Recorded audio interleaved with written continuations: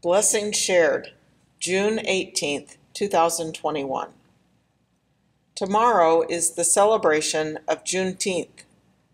As noted by the National Museum of African American History and Culture, Juneteenth is a time to celebrate, to gather as a family, to reflect on the past and look to the future.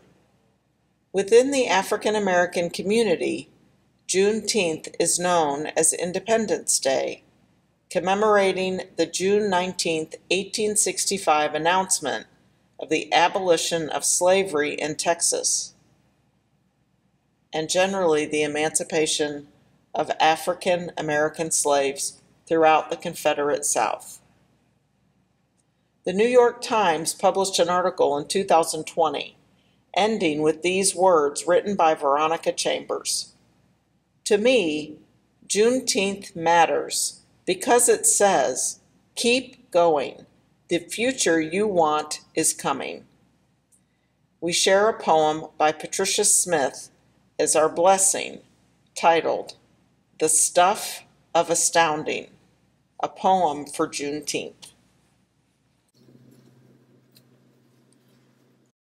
Unless you spring from a history that is smug and reckless, unless you've vowed yourself blind to a ceaseless light, you see us.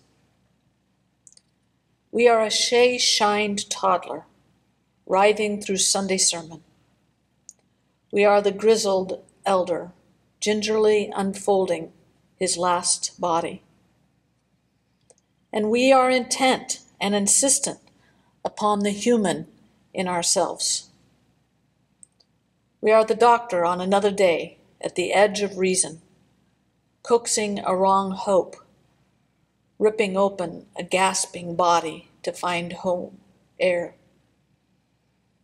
We are five men dripping from the burly branches of young trees, which is to say that we dare a world that is both predictable and impossible.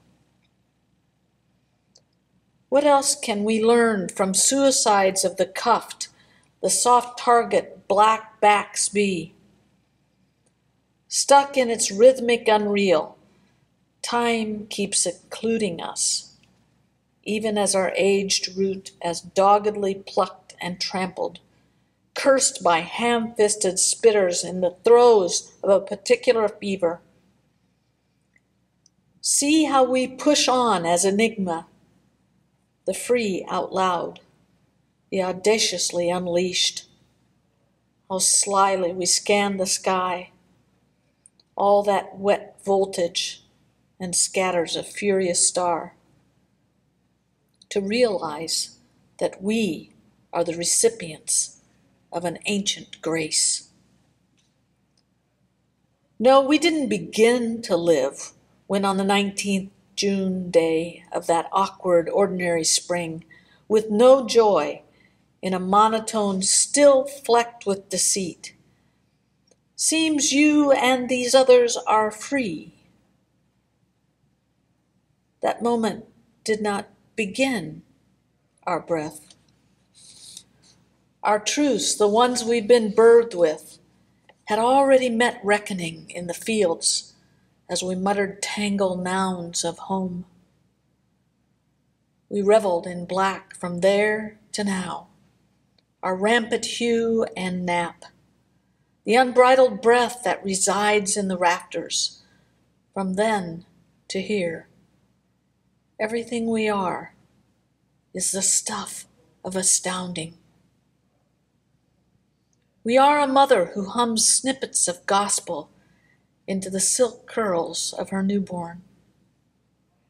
We are the harried sister on the elevator to the weekly paycheck Mama dreamed for her. We are black in every way there is perm and kink, upstart and elder, wide voice, fervent whisper. We heft our clumsy, homemade placards we will curl small in the gloom weeping to old blues ballads. We swear not to be anybody else's idea of free, lining up precisely waiting to be freed again and again. We are breath, we are breach and bellow, resisting a silent consent as we claim our much of America, its burden and snarl, the stink and hallelujah of it, its sicknesses and safe words, all its black and otherwise. Only those feigning blindness fail to see the body of work we are, and the work of body we have done.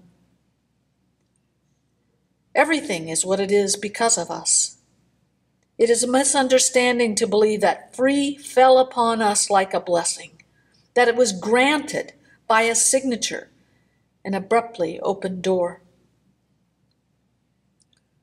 Listen to the thousand ways to say black out loud.